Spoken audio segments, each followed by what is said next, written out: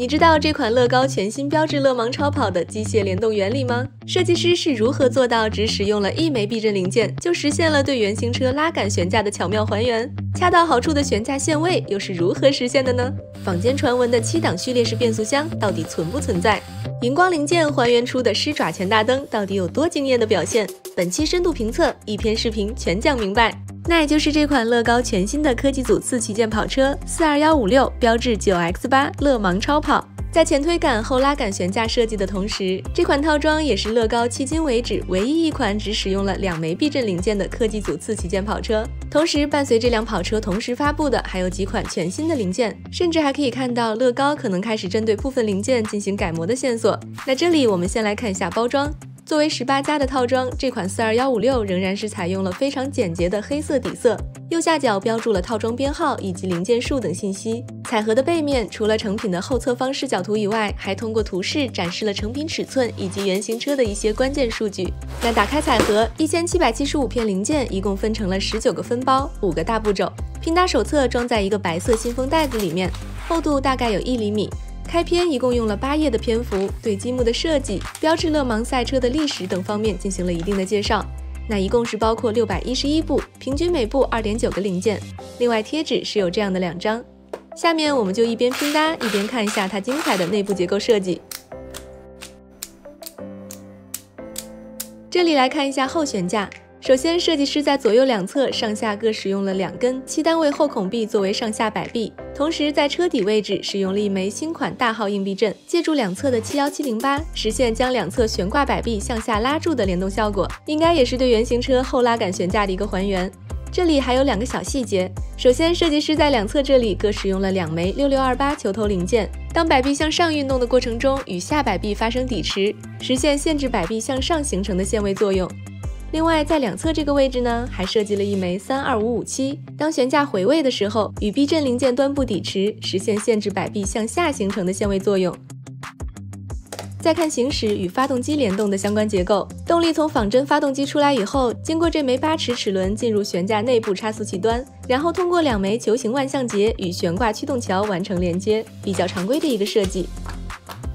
这里看下这枚九单位和十三单位的后孔壁零件，它们的近焦点从以前的外观面上移动到了销孔所在的侧面，非常棒的一个改模方案。另外，这里也看一下两个新零件，其中一枚编号为二四七七，一枚三乘五直角转向梁，那么这也是这枚零件的首次出现。另一枚编号为二三九三，属于在我们做过的套装中首次出现。这里可以看到，手动转向动力从车顶上方下来以后，在底部这个位置，通过一组十二比十二齿轮组将动力向车头方向传输。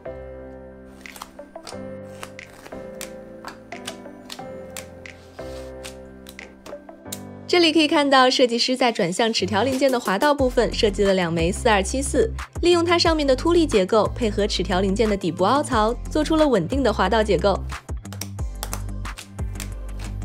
这里我们来看前悬架，与后悬架类似的是，前悬架同样使用了一枚新款大号硬避震提供弹力，不过这枚避震零件被设置在了悬架的上方。同时，设计师在这里也是使用了七幺七零八作为推杆悬架的摇臂结构，而推杆同样也是使用后孔臂实现。此外，设计师同样也在这里做了悬架形成的限位设计，其中通过七幺七零八的下端与一根后孔臂的抵持，完成对摆臂向下形成的限位。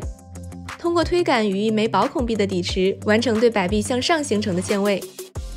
再看动力部分，值得注意的是，虽然这款车子采用了四驱的设计，但是前后轮之间并没有动力连接。设计师在这个位置设计了一个圆柱形的模块，通过一枚十二齿齿轮、一枚二十齿齿轮，完成与前悬架差速器之间的连接。而这个圆柱形的模块，正是对原型车两百千瓦电动机的还原。而电动机驱动前轮，V 六发动机驱动后轮，也是与原型车保持了一致。那转向联动比较简单，转向动力从这根十字轴过来以后，直接通过一枚十二齿齿轮驱动转向齿条零件。那另一边的一枚十二齿齿轮则是用来增加齿条运动的稳定性。那关于转向结构的限位，是直接通过齿轮与周围结构的底池来实现的。这里看一下方向盘相关联动结构。那联动结构本身比较简单，通过两枚十六齿齿轮完成和驱动转向齿条零件的十二齿齿轮连接。不过有玩家能看出这个设计会存在什么问题吗？那完成了前后悬架合体以后，接下来就进入外观搭建的部分。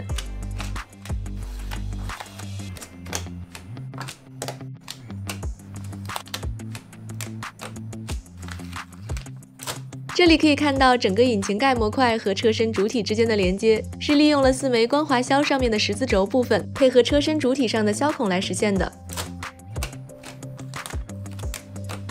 好啦，那么大概经过了七个小时，这款标致九 X 八就完成啦。作为一款一比十比例的次旗舰跑车，那最终成品的总长度是五十厘米，相对于原型车四千九百九十五毫米的长度，它的比例控制非常的精确。虽然它的零件数只比此前的四二幺二五多了九十八片，体积也基本一致，但它的重量却达到了一点六公斤，而四二幺二五只有一点三公斤。从整体来看，全车主要使用了深灰色科技面板进行外观面的搭建，少量绿色和红色零件的点缀以及贴纸的应用，则让它的运动感进一步加分，同时也是对原型车的准确还原。在细节方面，原型车经典的前后狮爪车灯，在这款乐高模型上得到了非常好的还原，尤其是前车灯，采用了左右各三枚荧光圆管零件，在黑暗的环境下，这个效果大家也可以自己感受一下。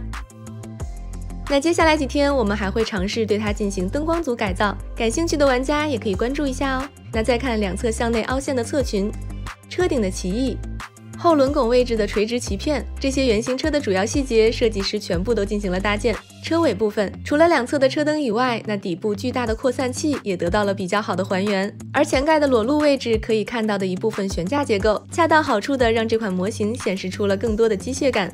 再看车底中间这里，也就是座舱的后部下方，设计师甚至还通过一张贴纸对原型车的九百伏锂电池组进行了还原。另外，在后悬架的下方，我们也可以看到这里的拉杆悬架结构。所以接下来我们来看一下它的功能表现。首先，前后悬架的回弹，测试下来完全没有问题。车辆的推行以及发动机联动，同样也没有问题。同时，这里我们加入电机来测试一下。那也可以看到发动机的联动非常的丝滑，手动转向以及方向盘联动，测试下来都没有问题。不过在两侧车轮完全回正的情况下，方向盘并不能完全回正，这也就是测评中提到的那两枚十六支齿轮设计所导致的，它会导致方向盘存在十一点二五度的误差。不过这也并不算什么问题。那两侧车门的开合。前盖开合这些比较简单的功能，自然都不会有什么问题。另外，整个引擎盖也可以像这样取下来。牢固度方面，整车的牢固度还是可以的，基本所有科技面板都做到了不错的固定，只有车尾位置的一个采用砖块零件的模块相对比较容易脱落。那最后总结一下，作为一款一比十比例的跑车，在大部分情况下，无论是在内部结构方面，还是在外观搭建方面，这个比例的跑车通常都很难有非常出彩的表现。虽然此前坊间流传的七速序列式变速箱并没有在这款套装上出现，但是在不借助新零件的情况下，首次出现的拉杆悬架却让人感受到了意外的惊喜。虽然它的机械原理和真实的拉杆悬架有一定的区别，但是这应该已经是现有零件能够做出的最大的还原了。好了，那本期评测就到这里，稍后几天我们还会给大家带来灯光组改造的分享，咱们下期见。